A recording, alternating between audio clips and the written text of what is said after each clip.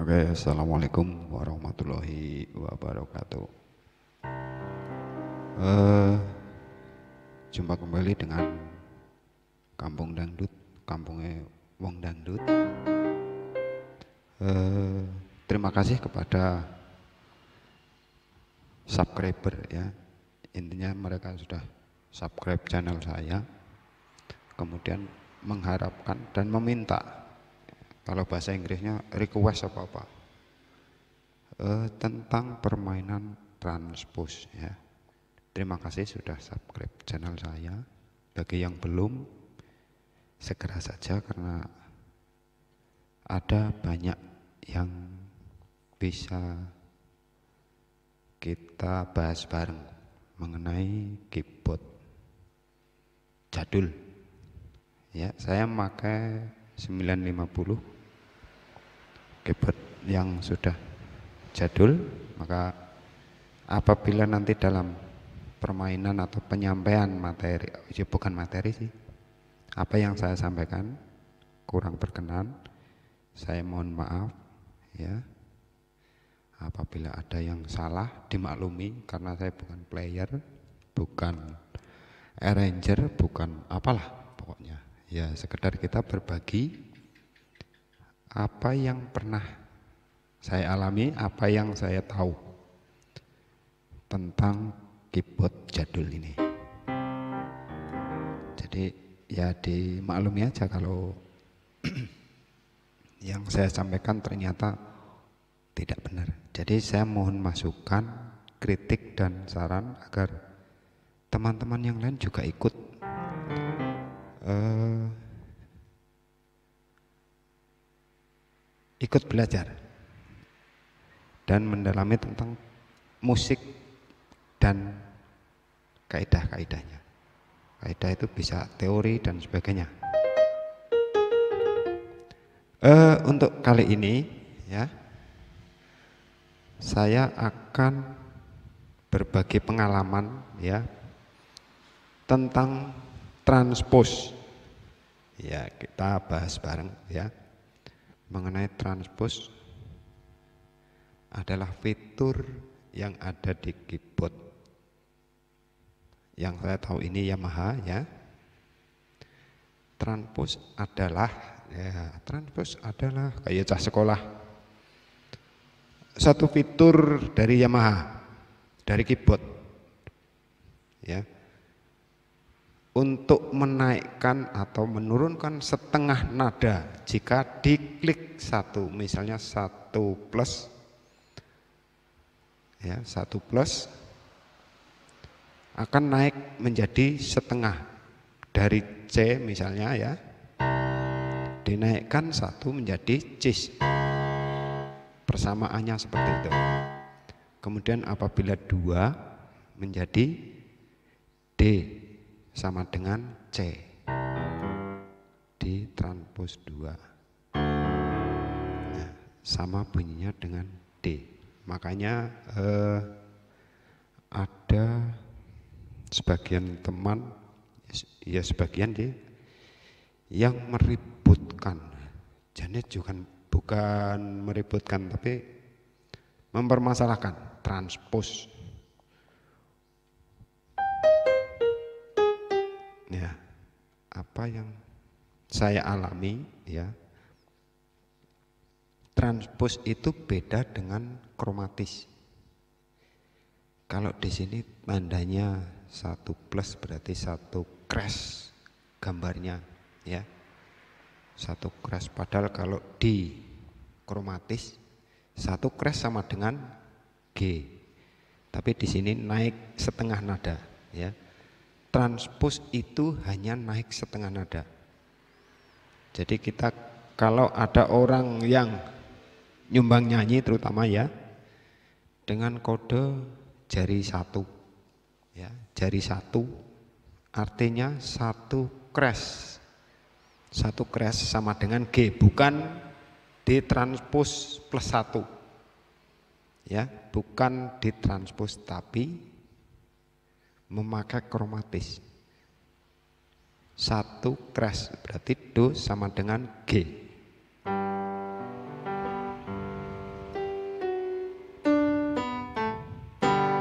Ya.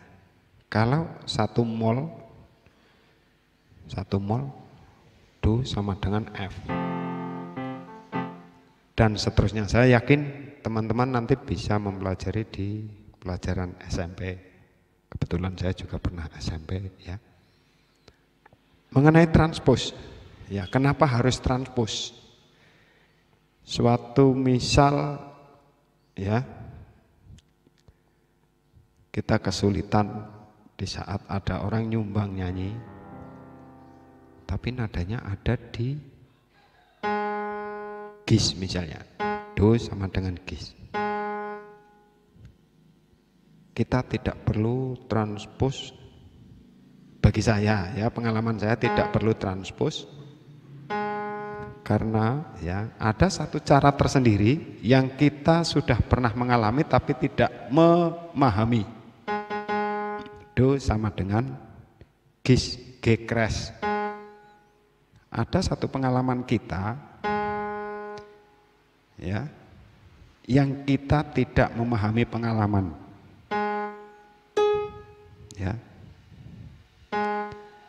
saya mengalami transpos apabila di cis ya, di cis dan fish biasanya. Ini yang saya terus terang saja kadang saya transpos antara fish dan cis karena e, jari saya tidak nyampe penjarian saya. Jujur saja. Tapi kalau piano ya dengan terpaksa ya. Kalau piano dengan terpaksa.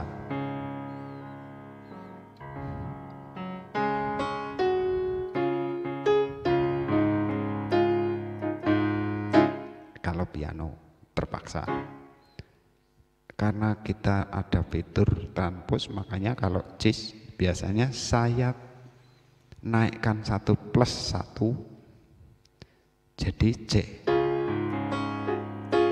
Itu kalau saya pengalaman yang saya alami.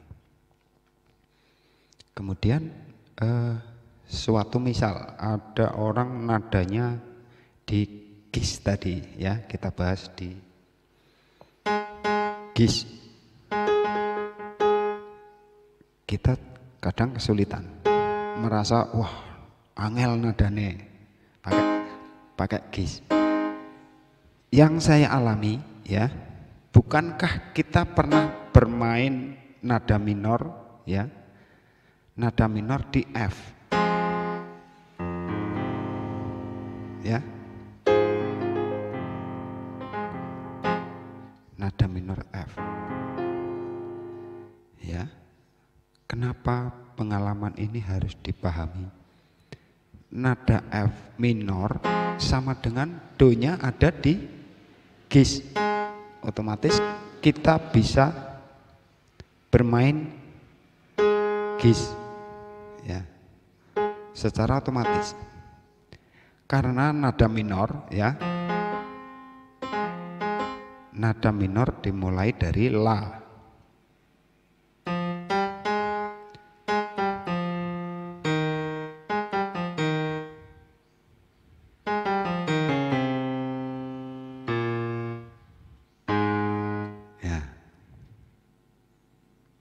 secara otomatis sebenarnya kita bisa bermain di GIS. Karena kita pernah mengalami bermain C minor. Ya. Uh, F minor maksud saya. Ya. Kalau di main GIS lanya ada di F. Secara otomatis kita pernah mengalami, makanya bukan suatu alasan kesulitan. Jadi tidak perlu ditranspos bagi saya. Ini pengalaman saya. Kalau ditranspos ya kita biasanya pakai kegemaran nada nada dasar kegemaran benora angel ya biar nggak sulit ditranspos plus satu pakai G. Akan tetapi ya, akan tetapi tidak semua stil mendukung. Artinya permainan bassnya nanti bisa gereng karena diatur di high key dari masing-masing instrumen. Uh, kemudian ada yang minta misalnya dis ya. Kita merasa kesulitan. Oh nadanya dis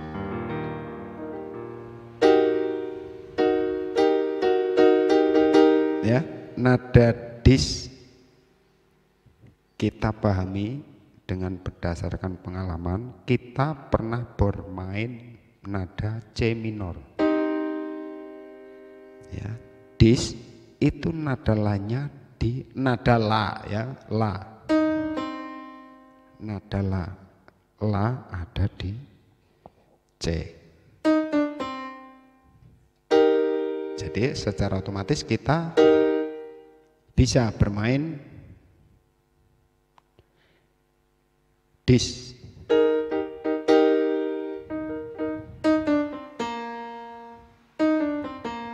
secara otomatis. Nah,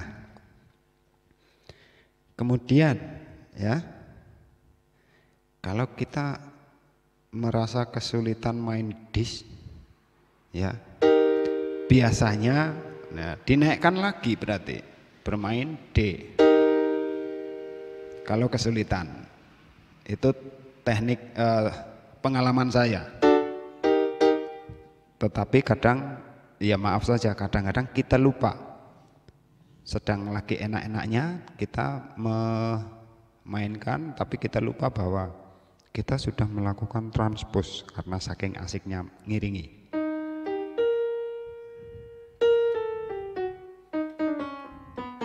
Ya kadang-kadang lupa. Kita sudah transpose ternyata pengertian kita masih bermain di dis Oke, gitu ya. Ada baiknya ya cukup pakai dis. Ya. Pengalaman uh, yang perlu dipahami.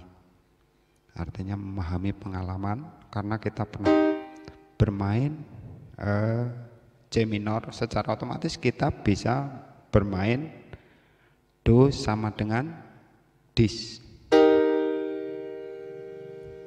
Uh, ada lagi nada yang saya pernah ya biasanya pasti saya transpose yaitu di cis ya saya saya jujur saya kesulitan. Karena la la ada di bass jadi saya kesulitan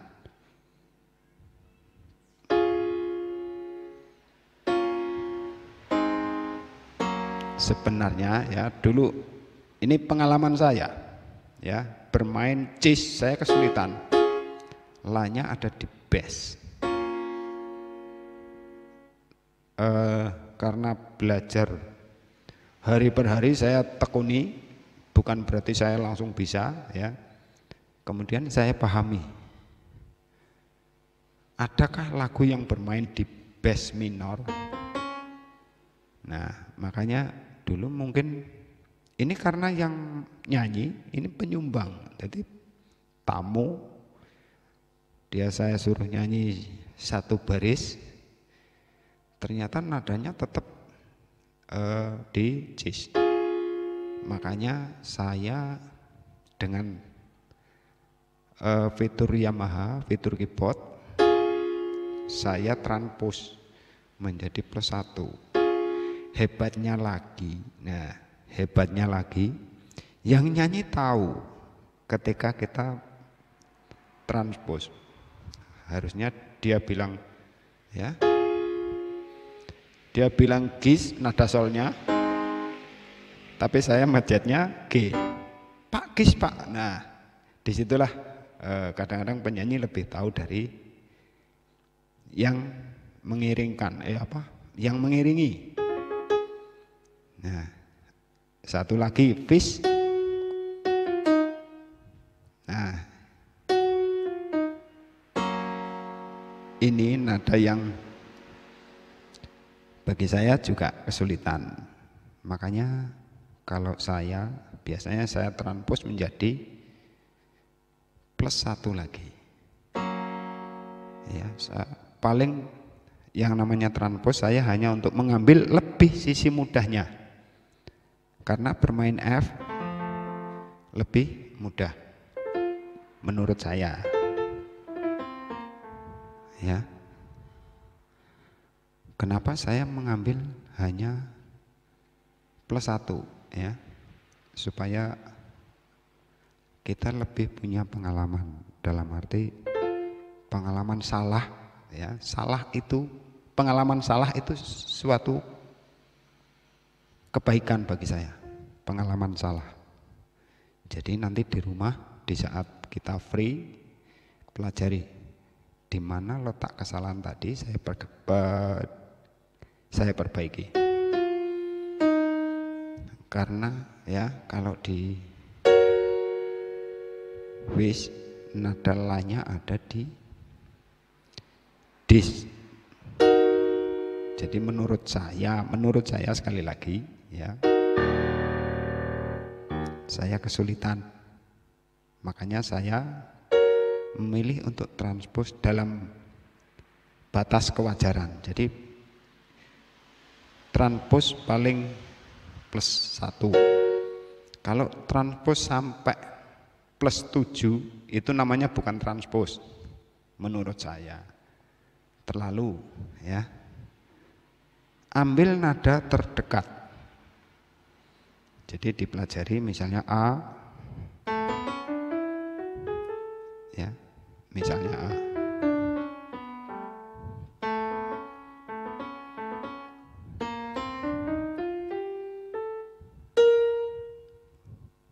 Jadi yang saya agak sulit memang di fish dan jis. Apakah transpose itu salah? Tidak. Menurut saya tidak. Menggunakan fitur keyboard e, memang ya tidak salah. Hanya jika tidak wajar ada setil yang tidak mau ditranspose. Nah, itu kelemahannya. Kalau setilnya di bypass, satu contoh saya bikin setil, uh, judulnya apa kemarin? Semuanya bypass, jadi nggak bisa di transpose.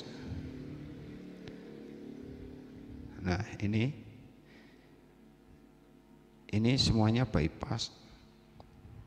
Walaupun ditranspose sampai 10 atau berapa tidak bisa karena di bypass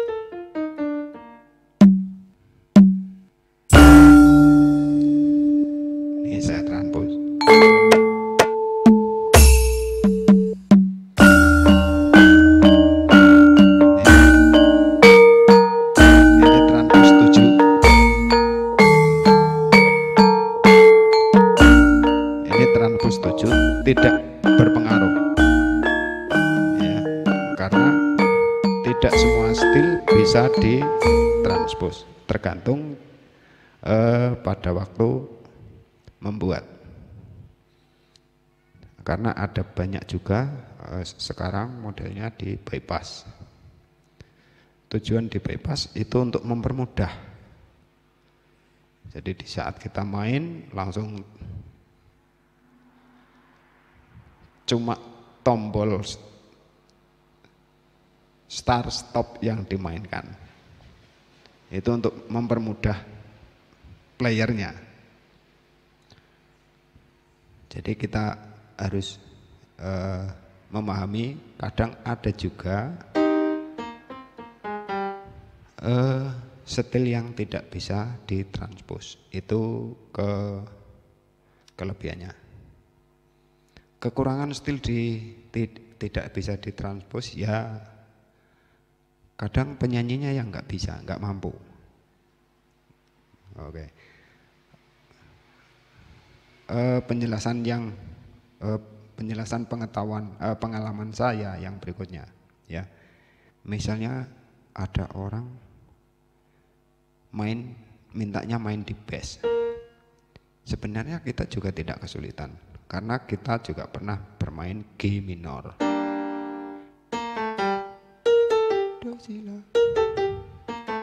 Ya sama. Ada orang yang minta main B minor. Kita eh, pengalamannya sudah pernah memainkan D. Karena la dari eh, do dari ini ya. Do.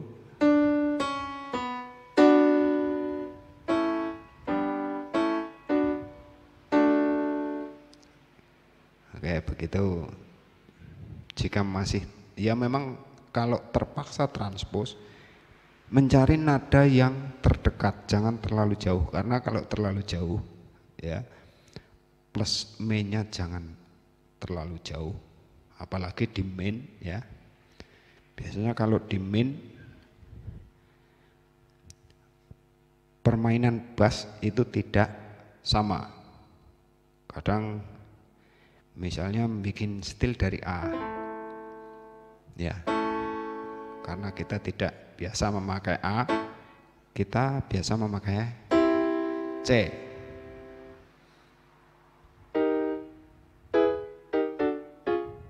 Omen ya. Ya ini biasanya yang menjebak kita